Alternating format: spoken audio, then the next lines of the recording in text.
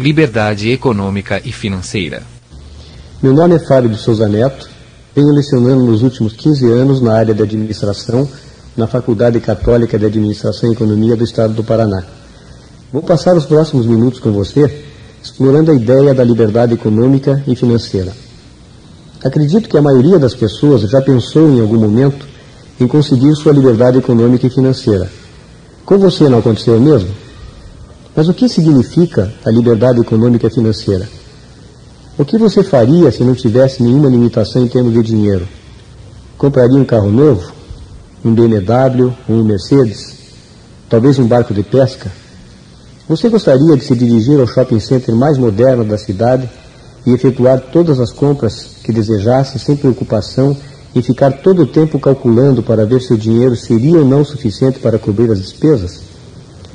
Ou que tal uma nova casa projetada de acordo com o seu gosto? Se você tivesse uma casa maior, contrataria um jardineiro e uma ou mais empregados domésticas para auxiliar nos trabalhos? Será que a liberdade econômica e financeira significa mais tempo para passar com seus amigos, com sua família e com aqueles que compartilham de uma visão positiva quanto à maneira de viver? Imagino que seria agradável fugir daquela montanha de contas mensais representada por cartões de crédito, contas de luz, telefone e tantas outras despesas.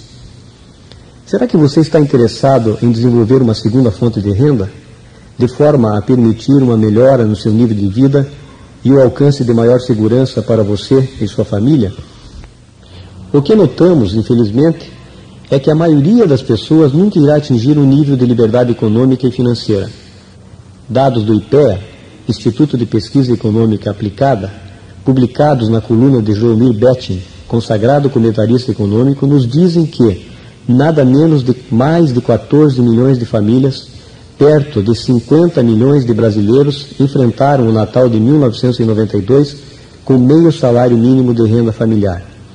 Acredite quem quiser, cada membro da família sobrevivendo com renda equivalente a 5 dólares por mês. Sim, por mês, e não por dia. Desse total, segundo o documento oficial, 33 milhões não têm lugar nas classes A, B, C, D e E situam-se na classe H, H de horror. Mesmo nos Estados Unidos, dados da Administração do Seguro Social indicam que dos americanos que chegam à idade de 65 anos, 45% dependem da família, 30% dependem de alguma forma de caridade, 23% continuam a trabalhar e somente 2% mantêm sua autossuficiência. Ainda mais alarmantes são as estatísticas do mesmo escritório governamental, dizendo que 85% dos que chegam à idade de 65 anos não têm 250 dólares reservados para sua aposentadoria. De acordo com dados da Associated Press, o ordenado médio nesse país, tirados os impostos, era de 17.526 dólares. Em dólares constantes, o ordenado familiar atingiu o ponto máximo em 1978 e depois começou a cair. Agora, a mesma família precisa ganhar aproximadamente duas vezes e meia mais por ano do que ganhava para manter um poder de compra equivalente. Necessidades e despesas aumentam enquanto o salário não acompanha a inflação. Aparentemente, estas tendências continuarão, fazendo com que tenhamos um poder de compra cada vez menor. Na realidade, vivemos num mundo de oportunidades, convivendo com profundas mudanças sociais, como a queda do Muro de Berlim e as transformações na República Soviética, todas na direção de uma maior liberdade. Ao mesmo tempo, a maioria das pessoas não tem absolutamente nenhuma ideia sobre como transformar seus sonhos em realidade. Diversas pesquisas realizadas confirmam que mais de 90% das pessoas que se sentem frustradas financeiramente alegam que a causa principal dessa situação foi a falta do desenvolvimento de um plano. Nós somos o resultado direto do que fazemos. O que você está fazendo hoje vai permitir o atingimento dos seus objetivos? Que objetivos são esses?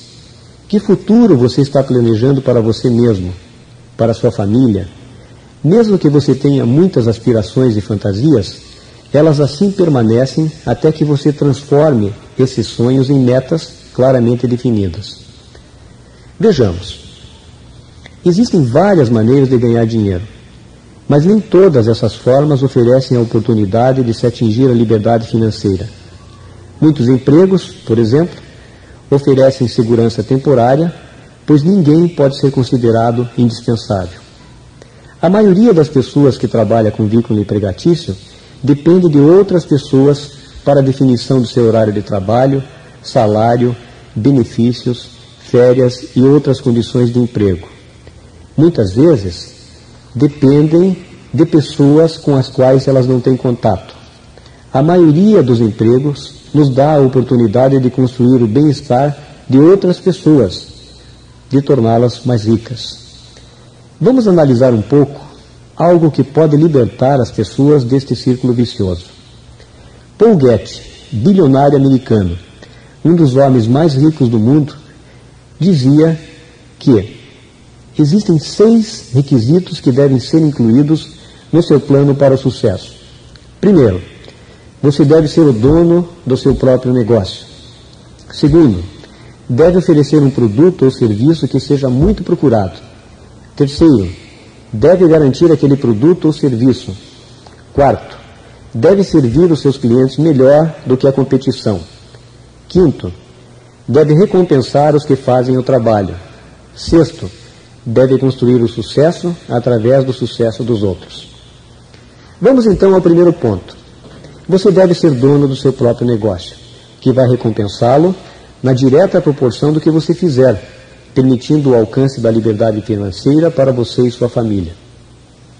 Quando pensamos no negócio próprio, no entanto, três questões principais nos vêm à cabeça. Primeira, qual o investimento necessário?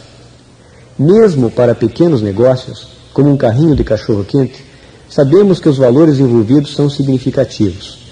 Nos Estados Unidos, por exemplo, são necessários 75 mil dólares para iniciar uma pequena empresa de venda de peças de automóveis, 50 mil dólares para montar uma pequena mercearia, 75 mil dólares para abrir um pequeno restaurante. Além disso, se não dispusermos do capital necessário, dependeremos da obtenção de empréstimos bancários a juros de mercado, onerando significativamente o custo das operações. A segunda pergunta diz respeito ao risco do novo negócio. Matéria publicada na revista Small Business Administration informa que 80% dos novos negócios iniciados neste ano não serão mais do que uma trágica memória dentro de cinco anos. Entre as causas destas falências, encontramos 45% devido à incompetência, 20% devido à falta de experiência em administração, 10% devido à falta de conhecimento do negócio e ainda 4% devido à fraude e negligência. No Brasil, as pesquisas indicam que de cada cinco novos negócios, quatro acabam fracassando. Outra questão está relacionada com o retorno sobre o investimento, que muitas vezes acaba ocorrendo num tempo muito maior do que o previsto. Com certeza, existem outros métodos de ganhar dinheiro. Você pode, por exemplo, ocupar uma importante posição nas áreas de administração das grandes corporações. Sabemos, no entanto, das limitações para se alcançar estas posições e, mesmo ao atingi-las, as pessoas continuam dependentes das decisões de terceiros, com todas as implicações decorrentes da relação de emprego. Vamos voltar às observações de Paul Getty. O último item de sua lista dizia: Você deve construir o seu sucesso através do sucesso de outros. Esta observação nos remete a um importante conceito, que é o conceito da duplicação. Através dos tempos, as pessoas têm aprendido muito sobre o conceito da duplicação. Mas o século XX trouxe uma nova e interessante aparência a respeito desta ideia. A evolução tecnológica e o constante desenvolvimento da área de comunicação têm permitido que milhares e mesmo milhões de pessoas tenham cada vez mais acesso ao compartilhamento do conceito, permitindo que muitos encontrem um caminho para a concretização de seus sonhos. Franchising, por exemplo, é uma palavra que todos nós já ouvimos e é um bom exemplo de duplicação do século XX. Quem não conhece o McDonald's? É um exemplo de um modelo utilizado para ajudar outros a abrirem seus próprios restaurantes. Você acha que é um modelo bem sucedido? Só no Brasil são mais de 100 McDonald's. Você acha que aqueles arcos dourados do McDonald's são facilmente reconhecíveis ao redor do mundo? Você acha que o dono do McDonald's nos Estados Unidos e seus associados ao redor do mundo têm alcançado bons resultados? São inúmeros os exemplos de franchise no Brasil e também no mundo. Este é um conceito que, com certeza, continuará a promover o desenvolvimento de pequenas empresas que vão se tornar muito lucrativas, tudo através de um processo muito simples, chamado duplicação. As franchises, no entanto, são muito caras e apresentam também os problemas usuais: investimento inicial, treinamento de empregados, localização, área de atuação e outras limitações. Obviamente, as franchises não estão ao alcance da maioria das pessoas. O que fazer então? Que tal se nós pudéssemos ter o nosso próprio negócio, com baixo investimento, mínimo risco, sem limitações quanto à área de atuação geográfica, sem empregados e com grande flexibilidade quanto ao horário de trabalho? Ocorre que esta possibilidade já está sendo explorada com grande sucesso em países como Estados Unidos, Canadá, França, Inglaterra, Alemanha, Japão, México, Espanha, Porto Rico e muitos outros países. Tem sido uma história de sucesso, onde pessoas como você e eu, independente de nossa educação, experiência e poder econômico, temos a oportunidade de nos tornarmos homens e mulheres de negócio com grande sucesso. Trata-se de uma ideia chamada network marketing. Muitas pessoas estão optando por esse sistema como uma oportunidade de construírem seus próprios negócios com baixo investimento, mínimo risco e grande potencial do retorno sobre o investimento realizado, que se traduz principalmente em tempo. Presentemente, existe um milhão e meio de milionários nos Estados Unidos. De acordo com um artigo da revista Business Connection, 20% dos que atingiram essa posição fizeram-no através do uso de network marketing. O incrível é que colocações efetuadas por revistas como Stanford Research e Wall Street Journal indicam que na próxima década mais de 50% dos produtos e serviços serão oferecidos através de network marketing. Network marketing é chamado da onda dos anos 90, do shopping center do futuro, expandindo-se praticamente para todo o mundo livre. Uma das atrações desse sistema é a incrível possibilidade de expansão para todas as cidades brasileiras e também para inúmeros países, além do controle que você pode exercer sobre o seu sucesso, flexibilidade e liberdade de ação. Através de network marketing, você pode ter acesso a centenas de produtos e serviços numa oferta crescente no decorrer do tempo, permitindo-lhe a oportunidade de incrível expansão no seu negócio. Existem inúmeros benefícios, mas posso dizer-lhe que você pode usufruir dos ganhos decorrentes das compras pessoais e da diversificação de renda através da criação de fonte alternativa de rendimento. Se existe algum negócio que se enquadra nos conceitos emitidos por Paul Getty, este negócio é sem dúvida network marketing, que oferece mais oportunidades para adquirir riquezas do que qualquer outra forma, considerando o investimento realizado.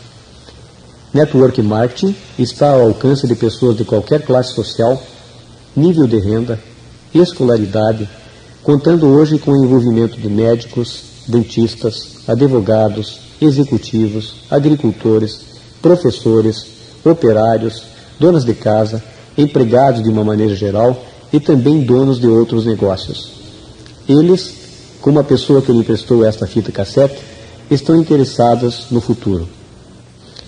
Isto significa que, através do seu próprio negócio, você terá a possibilidade de se tornar economicamente livre e bem-sucedido financeira e economicamente. Outros já o são, através dessa ideia chamada network marketing, negócio bem-sucedido nas últimas quatro décadas.